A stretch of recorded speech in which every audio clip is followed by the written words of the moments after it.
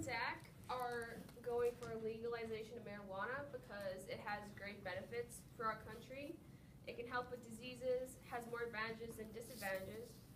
Um, and prohibiting weed is like taking away our personal freedom. And countries are supposed to respect our individual freedom, so the fact that we should legalize it would give us more individual freedom in our country. Um, which is a huge part why I think Trudeau wants marijuana legalized, because he wants the best for our country. Um, the amount of people that voted for him support him, which shows he cares for our country. And looking at the facts of marijuana, it will do a great deal for us in the positive end. Airplane has a lot of medical uses. And people won't believe me when I say that. But things such as the assessment of use can also help somebody's creativity up.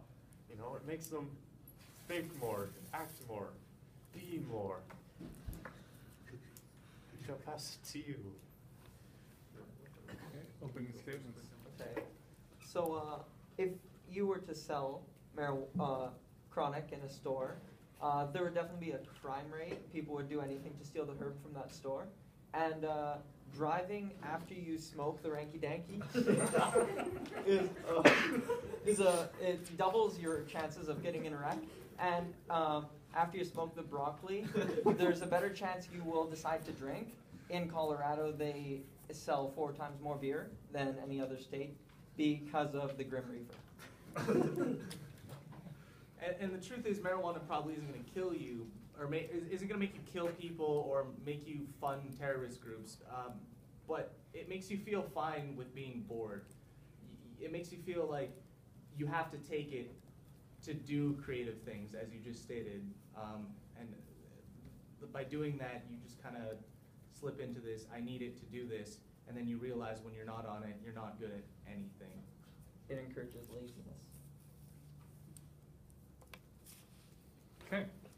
Sounds like uh, the opening statements are over, so then we're going to pass it over back to Zach and Raylyn for your four points.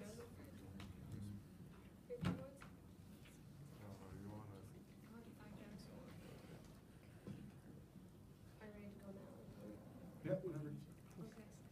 Um, so for my first statement, um, on a website called Drug Library, they explain that um, when we when weed is legalized, then the crime rate will go down. Um, since majority of people who are drug users need constant money for them, it will go down because weed will be so much more available, and users will um, will save money and won't have to commit crimes to get what they need. Um, it'll have a huge impact on the black market and drug dealers. It'll take away a lot of the illegal aspect, which it'll just make it more.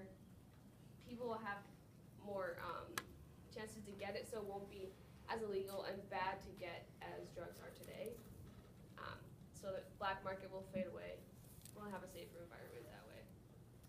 And my second point is there are advantages and disadvantages to every drug, but weed has more advantages than ever. In weed, the high comes from a chemical called tetra. This is a hard word to say. Tetra. tetrahydrocannabinol, and the po- potency depends on the different kind of weed. So most of the effects happen to the brain. It tells the brain to release dopamine, which is the feel-good thing why people would smoke weed. Um, but that, so that chemical found in marijuana can stop cancer from spreading. Um, and marijuana treats inflammatory bowel diseases. Um, yeah, that's my point. Now, it's been proven by many different things that AstroTurf does in fact help you with medical conditions. It's been shown in the documentary called Weed that Aunt Mary helps fight against a severe seizure disorder known as Dravet syndrome, where a little kid could just have random seizures at any time of the day. Stupid amounts of seizures. Could have like six seizures at 2 p.m. on Thursday. Everyone knows Thursday's not a day that happens for all that stuff. Another good thing that reefer does for everyone is that it can decrease anxiety attacks. By calming one's brain, beautiful thing known simply as bad seed it will help you decrease your anxiety by calming you with the happy hormone. I pass it to you, my friends. Okay. So, uh, we agree that there is health benefits to the stank, but we think that it shouldn't be used as uh, recreational purposes because if you're out in uh, public smoking the destroyer of youth, then um, your judgment and your decision making is slowed and impaired. Um, no matter what you call it, whether you call it the good good, the nicey nice, the yummy yum, the sticky icky, it still does the same thing. No matter what type you smoke, it's not appropriate to be in that situation in public. You're putting people at danger.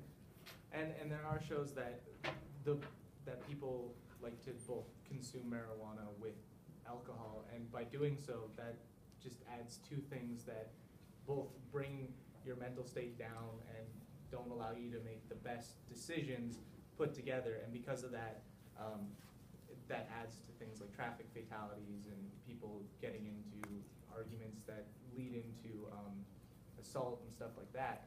Um, it's just one of those Um, and also, the uh, colorful Colorado has not been studied for very long. We don't know what the Mexican parsley does to you. Um, there could be lasting effects on your body. You could have lung problems or anything just from smoking the number 23. And with the legalization of it, that adds for more possibilities of more people getting their hands on it. And a, a lot of teenagers smoke just cigarettes right now. And when you think of it like that, there's a good chance that there's going to be a lot more people smoking marijuana um, because of that. And I mean, that's not good for anybody purely because, as we know, smoking uh, leads to things like lung cancer and other uh, problems with the lungs.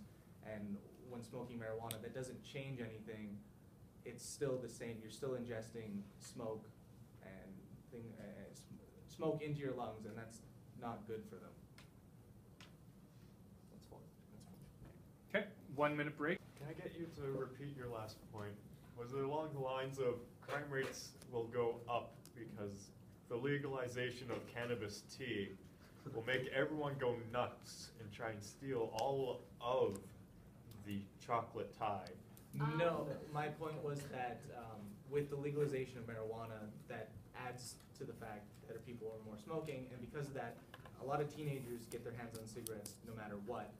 And I mean, they're just gonna go to the next s- thing that they can smoke and get their hands on, so they'll jump on into marijuana as so then.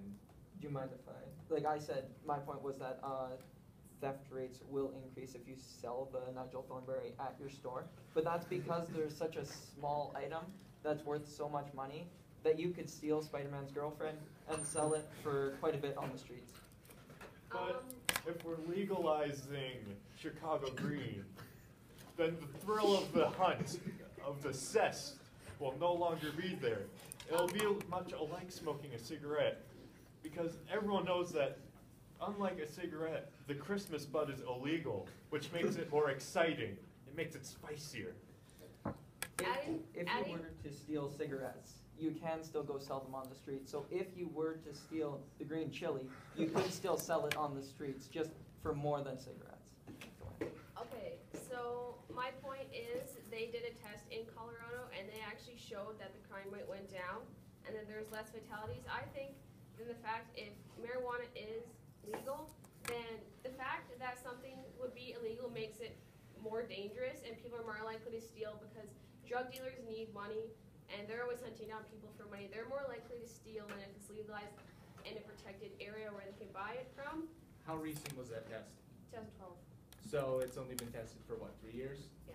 Most drug testing lasts Or much longer 2014, than that, I meant 10, say 2014. 10, 12, 20 years, just to see not only how it treats the body, but how it actually treats the society as a whole. I mean, you can look at that with like alcohol and how that was when it was implemented at first. Like, I mean, if you look at it now, everyone says it's a social norm, but in reality, it causes a lot of problems that we don't try and fix. It's- But um, you can't have a point of saying mixing weed with alcohol because cigarettes and alcohol are both legal things, and that's just people's choice to mix them together. That's not a legitimate point to legalize it because people are already mixing legal things. It's just statistics show that you are more likely to consume alcohol after smoking the wacky tobacco. Uh, that's why Colorado sells so much more alcohol compared to what they even did before. They uh, legalized. And the fact of that is that cigarettes don't impair you like alcohol and marijuana do. Mixing cigarettes and alcohol while damaging to your body, it's not gonna like add to the effect of not being able to comprehend what's going on as mixing marijuana and alcohol. But the fact that marijuana is so much better for you than alcohol and nicotine. Nicotine does so much worse to your body than marijuana does. There's so many health benefits for marijuana, so it's actually a good thing for our country. Nicotine is just all around bad. There's nothing good about it. The, So- the health benefit of jazz cigarettes are to reduce pain and to stop cancer. But if you don't have pain or cancer, there really isn't that much point. There that much of a health benefit to smoking the crazy cabbage. Yeah, but it's been proven that the Dinky Dough does help you eliminate nightmares and keep your metabolism at a relatively high state, meaning you'll stay skinnier and slightly healthier, and your mentality will, though you'll be whacked out of it, you'll also have less nightmares because you'll be too happy about all of the things that you're doing. And again, how long have these studies gone on for though? These studies have gone on for a couple of years now. How many is a couple? Two, three? It's usually about three fifths. It's Um, still not concisive enough. Like, I mean, again, the time period that most drugs are tested before they're actually even given out to like the public to use as antidepressants and stuff like that is over courses of like tens and uh, five and ten years. Because you don't know what the effects are after taking it. If you take it for a couple weeks and then you're good and you don't have to use it anymore, you don't know what the long-term effects are. Um, I found on this website, it was uh, patients that are using marijuana, like they're medical marijuana patients. And um, the ones that were using marijuana when they had cancer, it actually helped them better ahead. We believe that the legalization of marijuana would be a great thing for our country. If we regulate it and manage it, it will be safe for our society. Um, and it'll decrease crime rates and decrease the percentage of fatalities. It'll benefit people medically in a way of helping with cancer, Alzheimer's, etc. Legalizing marijuana will make our country a better and safer environment. Smoking Don Juan will help people with their medical problems such as epileptic seizures, which has been proven in a 2003 study that this does actually happen. Smoke, smoke your dank tokes and you're gonna have less chance of seizure. And again, it helps you be creative by messing with your brain when you smoke that butter flower. to you, my friends.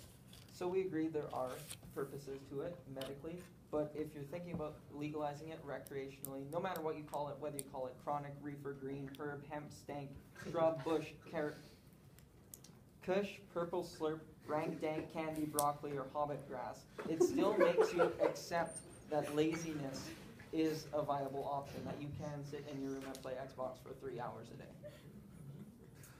And uh, you say that you can regulate it and all that, but, and it's gonna help make the country better, but that's the same thing they said about cigarettes and alcohol. We regulate it, it'll make the country better. We didn't spend the time to watch this, or study it and actually see what it implies to our society. And, I mean, there still are harmful, it is still harmful to you when you ingest it in improper ways.